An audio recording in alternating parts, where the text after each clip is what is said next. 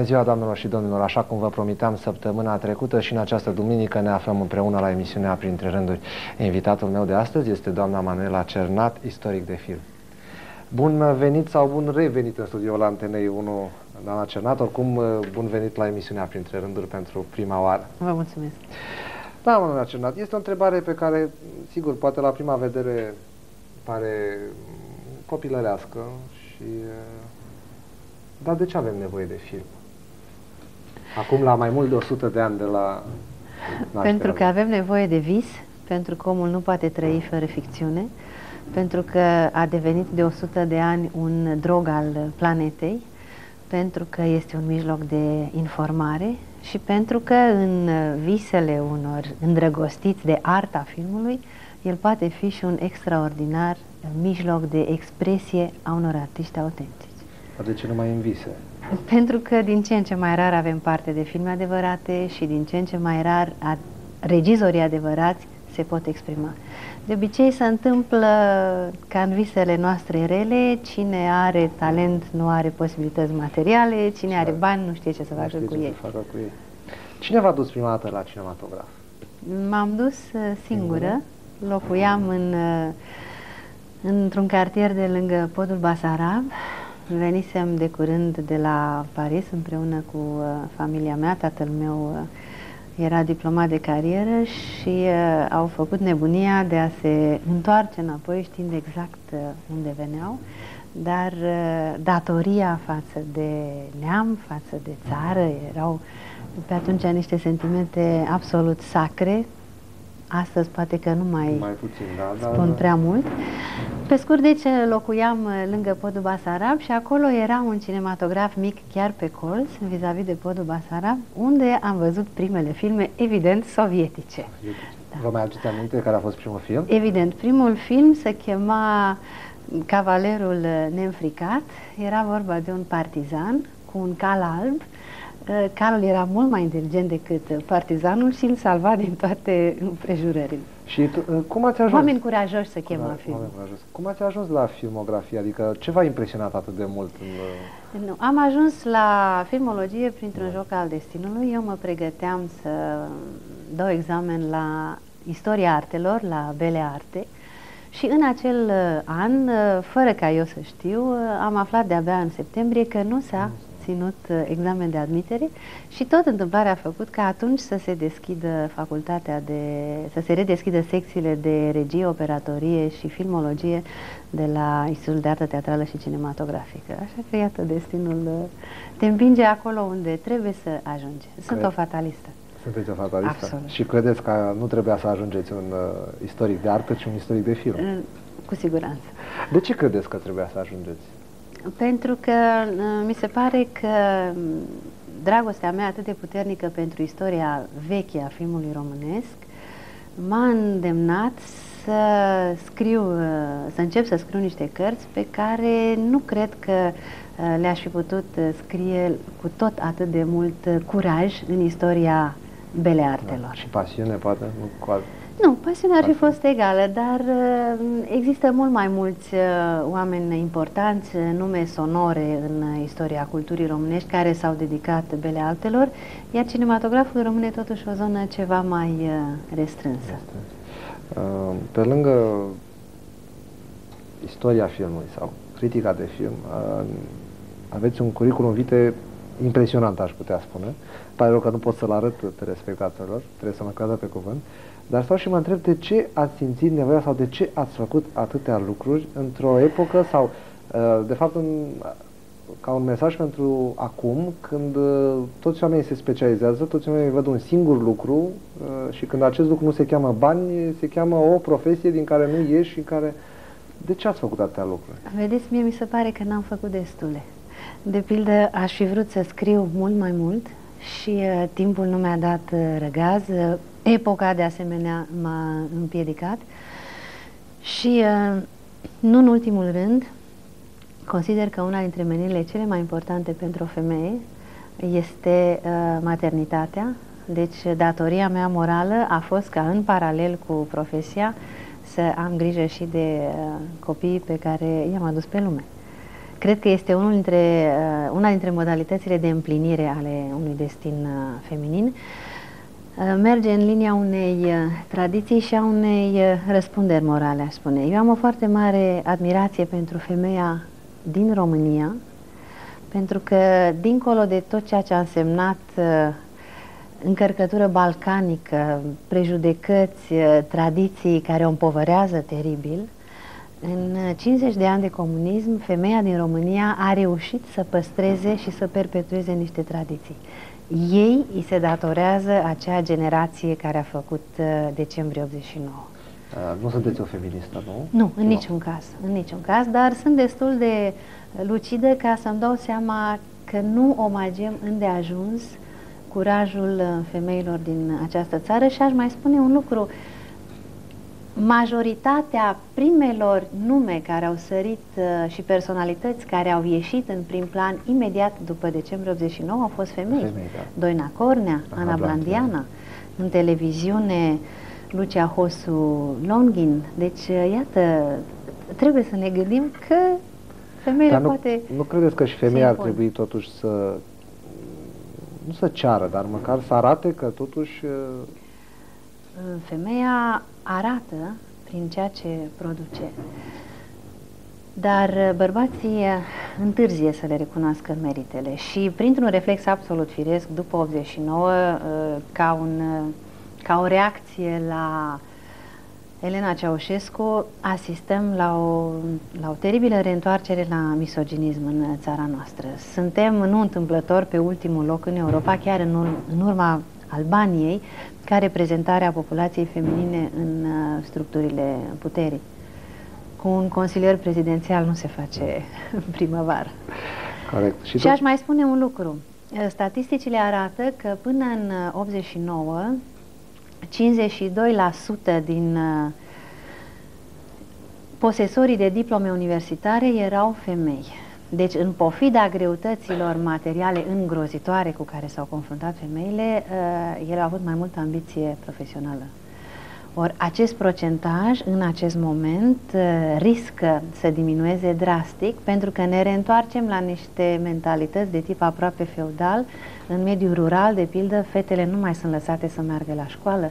Părinții nu mai au posibilități să le trimite la școală. aici eu cred că există și o reacție uh, de tip uh, postcomunist uh, la învățământ în general, în care tinerii nu mai sunt tentați sau nu mai sunt ambiționați să urmeze o formă de învățământ superior pentru că uh, termină o facultate și uh, se gândesc că în, în anii de facultate puteau să facă altceva, să facă bani și așa mai departe. Deci cred că este și un spirit general pentru care... Da, e foarte adevărat. Dar noi trebuie să, poate aici spiritul meu de istoric mă îndeamnă să fac permanent aceste paralele, trebuie să privim în urmă, nu uh, dintr-un uh, sentiment uh, paseist, dar să vedem cum arăta România într-o societate, uh, într-o economie de piață.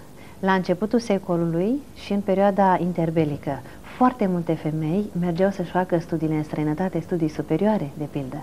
Deci nu era o simplă modă și nu neapărat femei uh, foarte avute. Exista un sistem de burse, exista un sistem de sprijinire a realelor valori ale nației. Da, da, cred că oricum uh, o tânără de la țară ar, i-ar fi fost foarte greu cu toată dorința ei și cu tot talentul ei să ajungă să studieze la Paris, de exemplu. Uh, Gheorghe Marinescu, celebrul uh, profesor medic Gheorghe Marinescu, era un băiat de la țară, un băiat dintr-o familie cu 10 sau 12 copii și a ajuns să nu numai să-și facă studiile sa la Paris, dar să ajungă o somitate în mediul universitare Vorbeam de femei. pariziene. Uh, Femeile au ajuns să-și dea și ele diplome la Paris. Am avut uh, primele femei avocat, am avut primele femei pilot, am avut femei medic. E, Statisticile sunt mai puțin aduse în uh, prim plan, dar au existat. Revin la întrebare, de ce ați făcut atâtea lucruri, chiar dacă dumneavoastră vi se par puține sau insuficiente? Pentru că am avut poate și uh, șansa extraordinară care s-a numit uh, mama mea, Anda Boldur. A fost uh, o persoană absolut uh, extraordinară, ea însă și-a făcut multe lucruri în viața ei. A studiat la Iași, la liceul Doamna Oltea, a făcut uh, sculptură la Paris, a scris poezii. Când s-a întors în țară din pricina istoriei care s-a bătut atât de drastic asupra României și și asupra familiei noastre în acel moment uh, n-am mai putut urma nici uh, pe linia beleartelor și a trebuit să se mulțumească să fie ani de zile o furnică modestă care a tradus din marea literatură universală. Poate că ea încercând să împlinească prin mine niște aspirații uh, neîmplinite ale ei, m-a îndemnat întotdeauna să încerc uh, noi orizonturi, uh, noi uh, profesii și mai ales m-a îndemnat uh, foarte mult să scriu. Lucru pe care am înțeles că, din păcate, nu l-ați făcut pe cât v-ați dorit. Sper, Dar sper, este totuși, timp. sper totuși să mai am uh, posibilitatea și de aici înainte. Oricum am scris uh, cărți pentru copii, am uh, scris eseuri, am, în momentul de față pregătesc o monografie dedicată unui uh, regizor de origine română de la Hollywood, prin care încerc să reînviu puțin și atmosfera din uh, România la început de secol până în anii 20. Pe lângă toate aceste lucruri, ați realizat, am înțeles, și 20 de scurtmetraje. Uh, Da, a fost o epocă în care am lucrat în uh, televiziunea română în- ca documentarist. Pe atunci era foarte greu uh, să încerci uh, ficțiunea, dar uh, acolo a existat un om pe care l-am uh, admirat uh, mult pentru tenacitatea cu care izbutea să se lupte cu conjunctura și cu morile de fânt și uh, în pofida rigidelor structuri ale televiziunii române dădea mână liberă unor, uh, unor tineri. Acel om s-a numit, uh, evident, Tudor Vornicu. Tudor Vornicu, da. Uh, Spuneți-mi, uh, era mai greu să realizezi un film decât să-l analizezi, să-l critici? Uh, Evident, evident, dar uh, implica o participare afectivă mult mai, uh, mult mai intensă. Acum, uh, bănuiesc că v-ați revăzut scurtmetrajele. Nu, Nu? din păcate nu mai există, pentru că în televiziunea română a existat uh, pe atunci uh, moda aceea, pe de o parte, a recuperării nitratului de argint din, uh, din niște bucățele minuscule de peliculă, iar pe de altă parte se tot foloseau materiale pentru filme de montaj ale altora, așa încât în ziua în care m-am dus și am spus aș vrea să-mi văd totuși filmele, mi s-a spus nu mai există decât niște fragmentele, bucățele. Da. Era interesant de văzut cum uh, privește criticul Manela Cernat la, după câțiva ani. E mai bine că s-au pierdut, poate.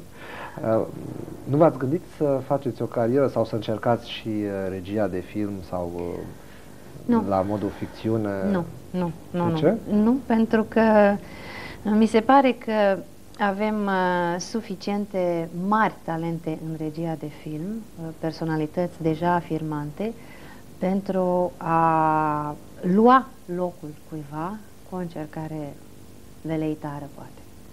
Și mă simt foarte bine cu creionul în mână, nu, uh, nu am uh, ambiții. Cred că fiecare trebuie să știe exact care este limita propriilor uh, posibilități. Și cred că una dintre dramele momentului actual al României este că foarte mulți oameni nu au conștiința limitelor. Trebuie să știi să visezi. Mi-aduc aminte că în copilăria mea un prieten de-al mamei îmi spunea ca să vrei să sari 5 metri trebuie să-ți iei avânt pentru 100. Dar în același timp trebuie să fii absolut convins că poți să sari acei 5 metri. Dumneavoastră v-ați descoperit multe limite? Da.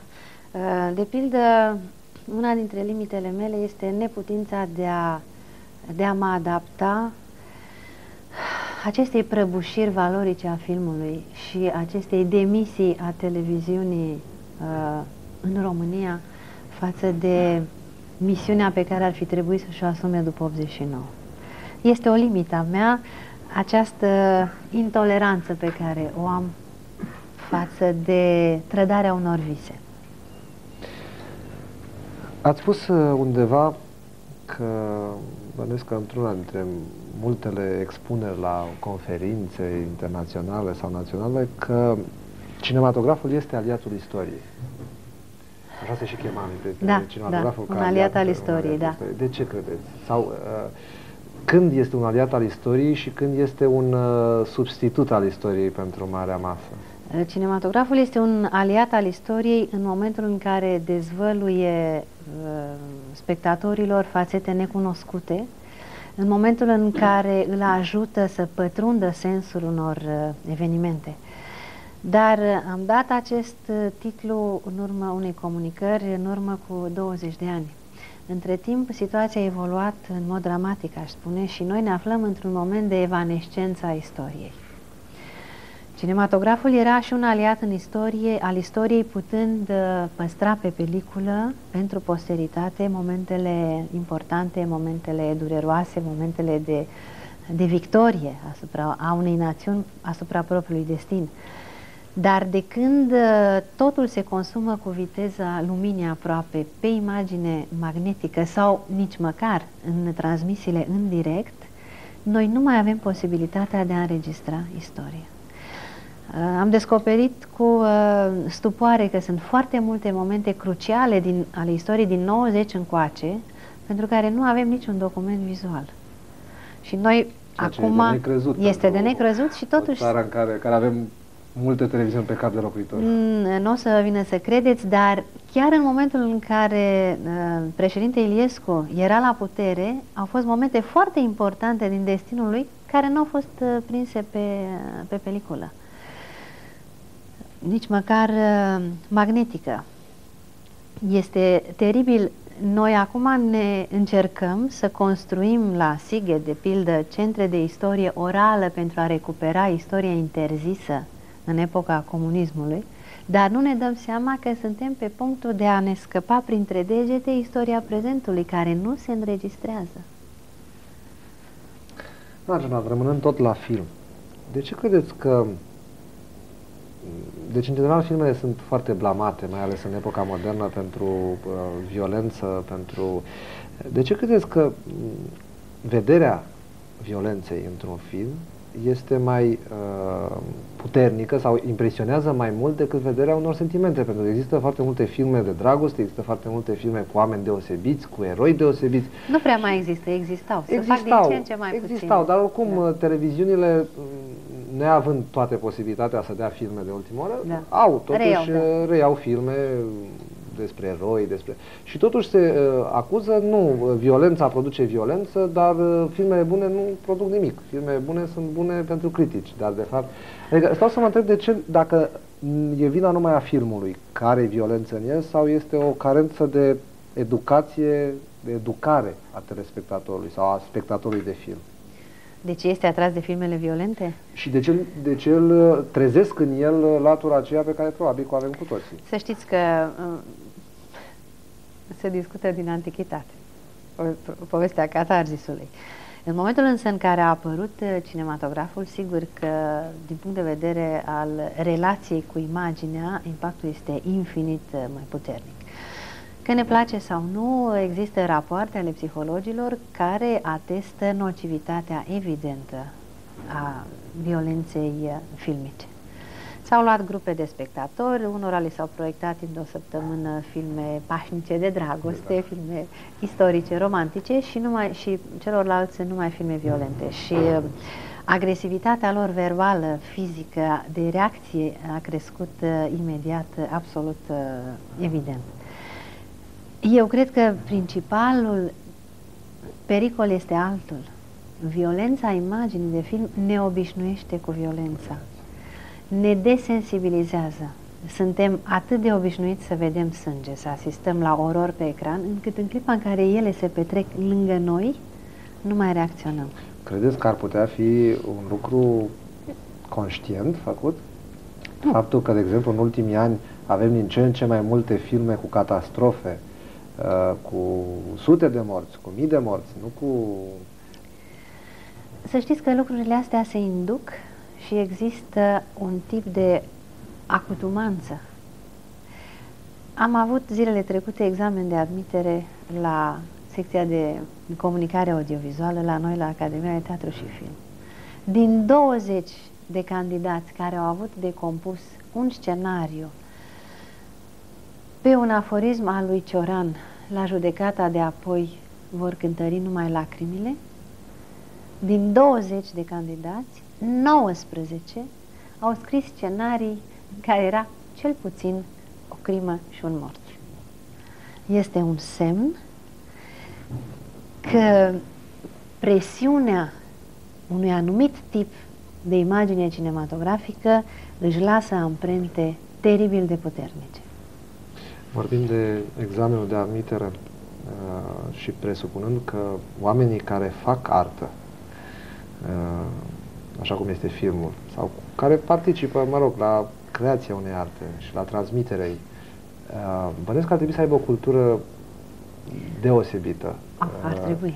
Uh, asta vreau să vă întreb, dacă acum în contactul direct cu tinerii care se pregătesc, totuși să realizeze filme care vor schimba poate modul de a gândi al unuia, al altuia care le va vedea. Uh, să nu uităm că prin filme se pot transmite foarte multe Modele lucruri. comportamentale. Da, stau să mă gândesc, oare toți acești tineri uh, chiar au cultura necesară și au capacitatea necesară de a... Cei care câștigă la noi concursul în general au, au o cultură peste, peste medie. Dar nu pot să nu remarc de șapte ani încoace o scădere continuă a unui anumit tip de cultură clasică. Se specializează într-adevăr, vin doldora de informații despre filmul american, dar în momentul în care îi pui să citeze două piese de Molière, se blochează. Înainte exista în generațiile noastre un univers comun, un uh, referințe la care imediat reacționam. Era suficient să citez un vers de Verlaine și uh, interlocutorul știa despre ce e vorba. Astăzi, asemenea tip de complicitate spirituală, intelectuală în cadrul unei generații aproape că a dispărut. Trebuie să ne adaptăm sau trebuie să luptăm? Iată întrebarea. Cred că trebuie să luptăm. Adică eu, eu personal... Da, și eu cred că trebuie să luptăm din, uh, din toate puterile. Și iarăși mă întorc și mă uit în uh, trecut. Ce s-a întâmplat în uh, secolul XIX, când generația lui Cogălnicianu, Cezar Boliac, încercau să ridice nația prin teatru și prin literatură. Sigur că părea utopic efortul lor și totuși au izbutit. Au izbutit.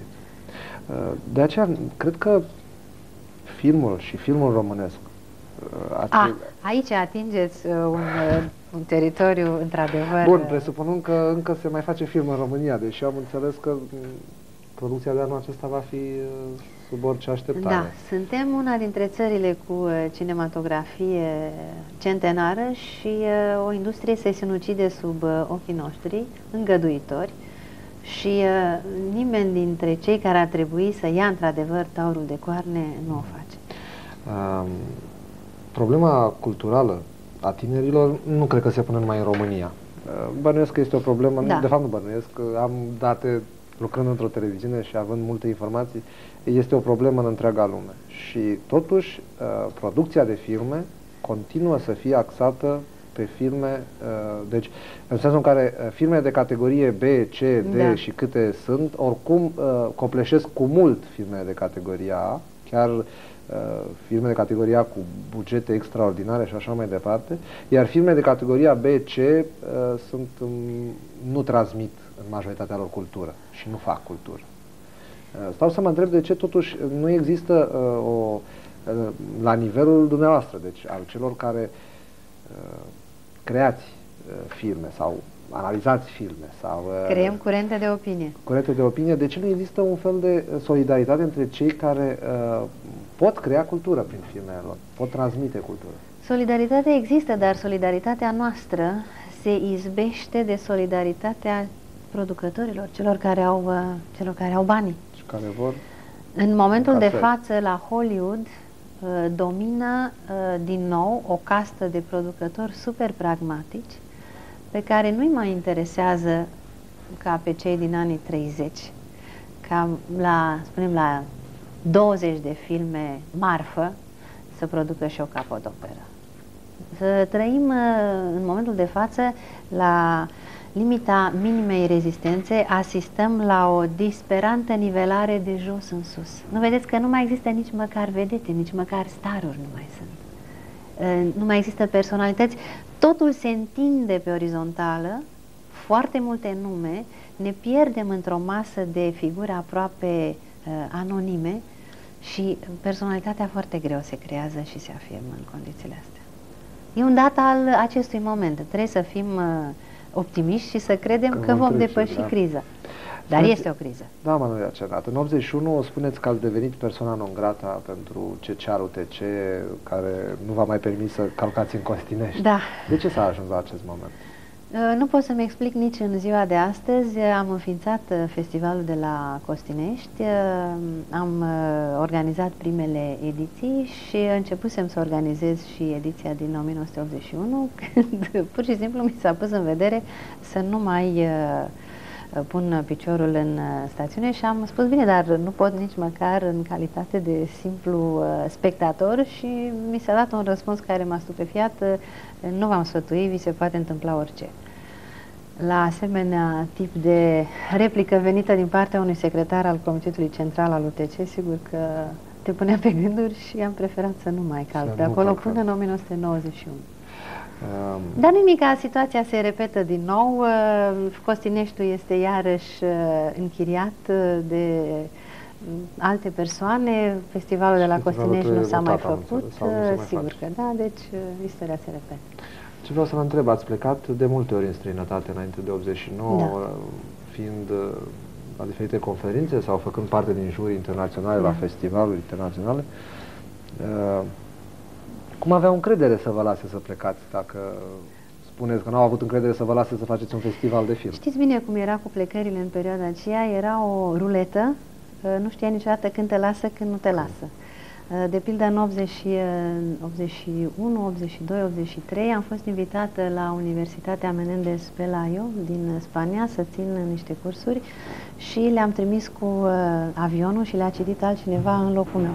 Apoi, în 1984, mi s-a dat drumul să plec la aceeași universitate, deci nu se știa niciodată. Când am fost în juriu la festivalul uh, filmului din Berlinul Occidental, unde se pleca prin Berlinul de Est, deci nu era nicio posibilitate de uh, fugă de acolo, uh, tot așa nu mi s-a dat uh, permisiunea și a trebuit să facă directorul festivalului presiuni teribile prin uh, ambasadă și începuse festivalul de două zile, eu nu ajungeam acolo și uh, s-a primit telefon aici la București, la România Film. Directorul de la Mosfilm a întrebat, e ceva cu România? România boicotează festivalul de la Berlin, să-l boicotăm și noi? Deci, S-a ajuns, da. da.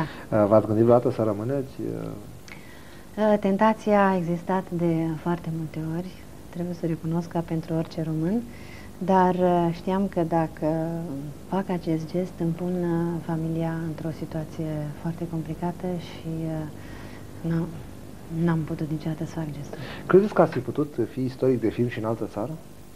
Sunt convinsă, sunt convinsă, în primul rând că aveam uh, relații, cum se spune.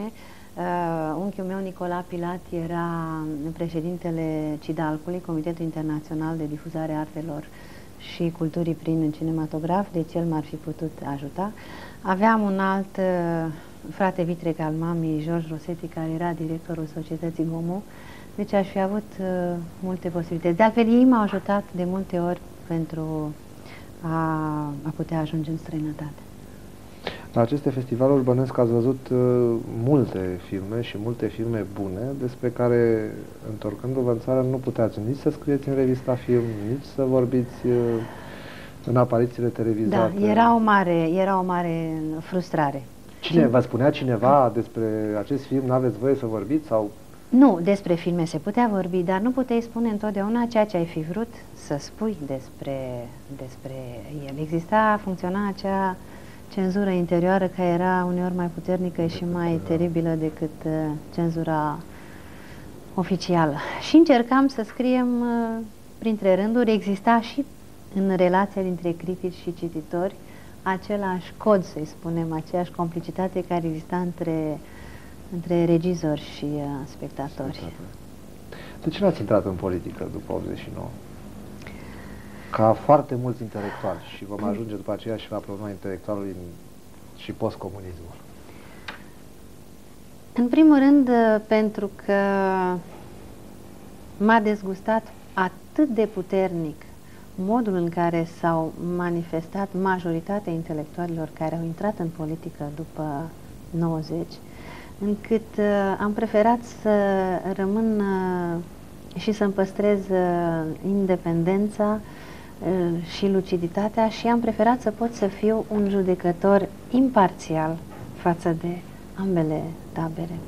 În orice caz, uh, am intrat într-un fel în politică, am fost uh, membra Alianței Civice, sunt în continuare membra Alianței Civice. Bun, dar nu este politică activă sau nu este Politică activă, de ce? De... Am uh, fost în comitetul de susținere al lui Victor Ciorbea pentru postul de primar. M-am manifestat în presă în susținerea candidaților convenției încă de la primele alegeri, Uh, deci e un fel de a face politică. Nu, ca să faci politică pentru intelectual nu trebuie neapărat să te înscrii într-un partid sau să ocupi un post de senator sau de deputat. E adevărat, Cred că e mult mai important să faci politică prin uh, ceea ce spui, prin uh, ceea ce scrii, uh, prin ceea ce încerci să impui, decât uh, ocupând uh, un loc uh, în Senat. Uh, nu va fi tentat un loc în Senat, în Comisia de Cultură, de exemplu?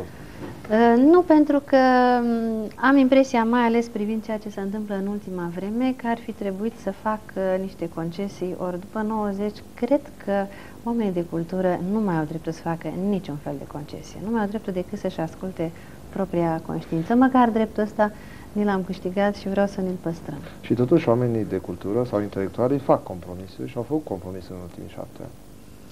Uh, eu vreau să cred, în fața lui Dumnezeu, că n-am făcut și vreau să sper nu. să mă ajute Dumnezeu în continuare să nu trebuiască să fac. De ce totuși, uh, după 89, se aștepta vechea poveste cu manuscrisele de sertar, cu ideile păstrate acasă și așa mai departe. Și toată lumea se aștepta ca intelectualitatea chiar să își capete uh, locul pe care îl merită într-o societate normală. Uh, ori, din potrivă, mi se pare mă că stăm, și eu. Mă stăm chiar mai rău ca înainte de 89. Da, mă așteptam și eu. Uh, nu mă așteptam la multe lucrări de sertar, pentru că îți trebuie o putere absolut ieșită din comun ca să scrii pentru nimic și mai ales riscul care exista al perchezițiilor.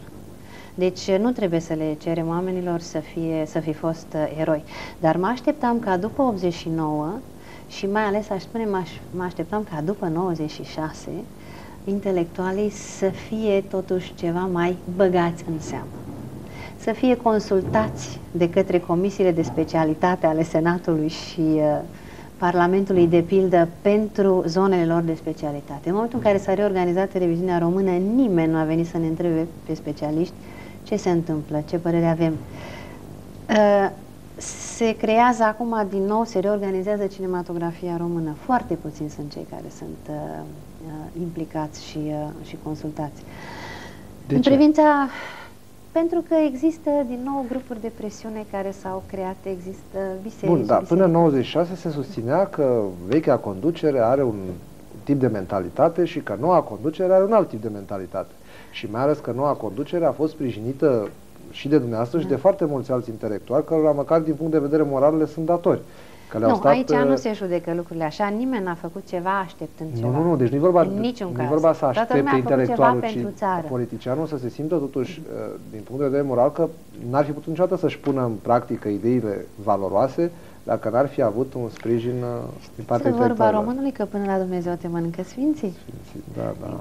Um, sunt atât de multe lucruri de rezolvat în România în acest moment, încât, din păcate, spun eu, din păcate, cultura este unul dintre lucrurile minore. Din păcate. Pentru că, pe, lung, pe lungă distanță, uh, cultura este totuși cea care lasă marca.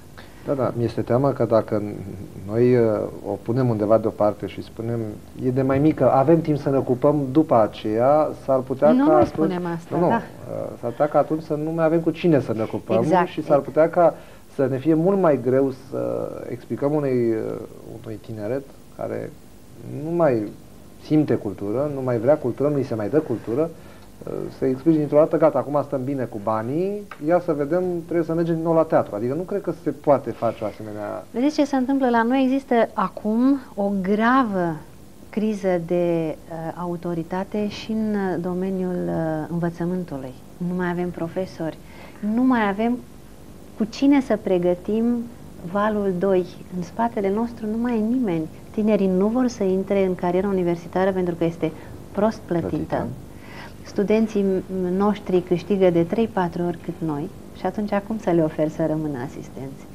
la un salariu absolut de mizerie cu care nu își pot cumpăra măcar niște, niște manuale, niște cărți.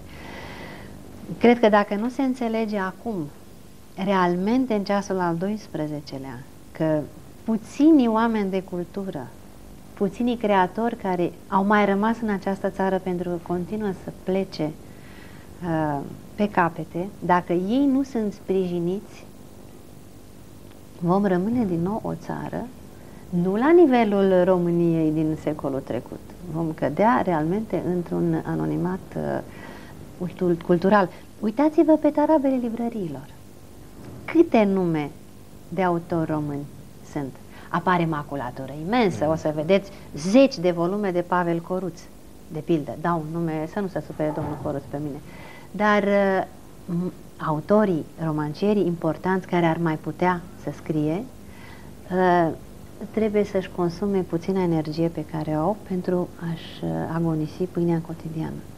Este inadmisibil ca marii noștri actori să aibă salariile pe care le au. Este inadmisibil ca marii noștri cântăreți să plece toți să cânte pe alte scene, inclusiv în coruri, pentru că sunt mai bine plătiți decât în operele noastre. Știți că la începutul secolului, pentru că tot uh, parcurg și mă, mă reîntorc, o să spuneți că este obsesie, dar știți că în prima decada a secolului Bucureștiul era un pol spre care convergeau marile în turneu, marile teatre și filarmonice europene. Filarmonica de la Praga a venit cu 60 de instrumentiști și a dat concert la București. În 1920 eram ieșiți din război și opera română, sub conducerea lui Masini, își comanda decorurile și costumele la Roma și la Milano. Eram ieșiți din război. Sigur, noi acum ieșim din uh, comunism, ieșim dintr-o revoluție, ieșim din șase ani de conducere dezastroasă. Dar totuși trebuie găsită și o modalitate de sprijinire a culturii. Adică dacă subvenționăm în continuare niște fabrici falimentare, poate că se poate pompa puțin și în, și în cultură. Și în cultură. Da, Manuela Cernat, de ce au telenovelele atâta succes? Pentru că apelează la uh, instinctul de minimă rezistență al uh, marii mase de spectatori, pentru că mizează pe nevoia de evaziune. Și pentru că dacă și România ar face niște telenovele puțin mai interesante, vă asigur că românii s-ar uita la telenovele.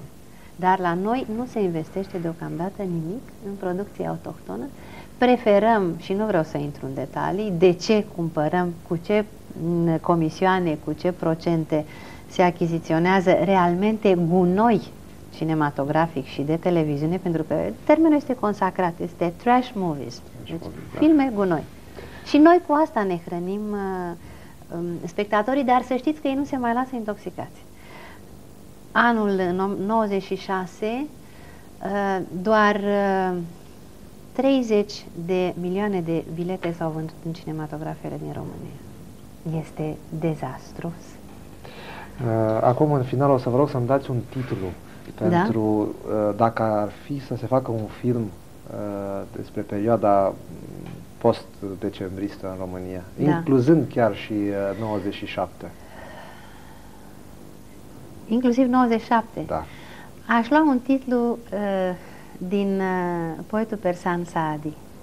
I-am învățat să tragă cu arcul și m-au luat drept țintă. Da, Manuel Cernat, vă mulțumesc foarte mult că ați acceptat invitația mea. Uh, sper să mai avem ocazia să stăm de vorbă mai pe larg despre cultură și despre ce ar trebui făcut pentru ea și pentru Mare tinerii plăcere. care doresc cultură, dar trebuie să-ți bată prea mult ca să o obțină și despre cei care vor să dăruiască și să facă cultură, dar care, din păcate, nu întotdeauna au mijloacele și poate nici tăria întotdeauna să de știți a... că englezii au o vorbă, where there is a will, there is a way. Acolo unde există voință, voință există și o cale. Trebuie să găsim cale. Sigur că da. Doamnelor și domnilor, noi ne reîntâlnim săptămâna viitoare la emisiunea Printre Rânduri. Până atunci, toate cele bune!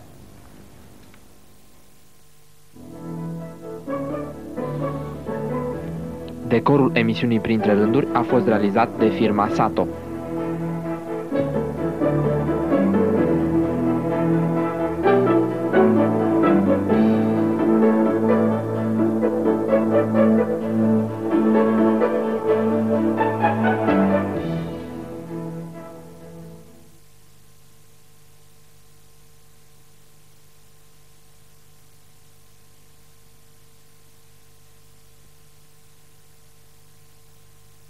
Un rol mai important în, în politica românească de după 1945 a fost atitudinii față de intelectuali.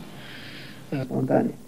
Eu am parcurs toate uh, stenogramele ședințelor Consiliului de Miniștri în 1944 până în 1952.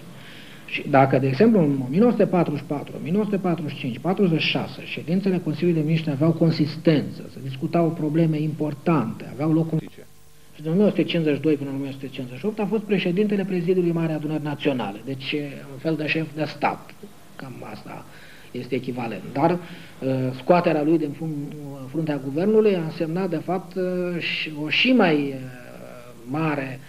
La 7 ianuarie 1958, dr. Petru Gloza moare la București. A fost o surpriză extraordinară. În primul rând, deci în 1958, de-abia venisem în București, era o plină campanie ateistă împotriva. Orientare spre realitate ar comporta riscuri inerente noilor prefaceri sociale.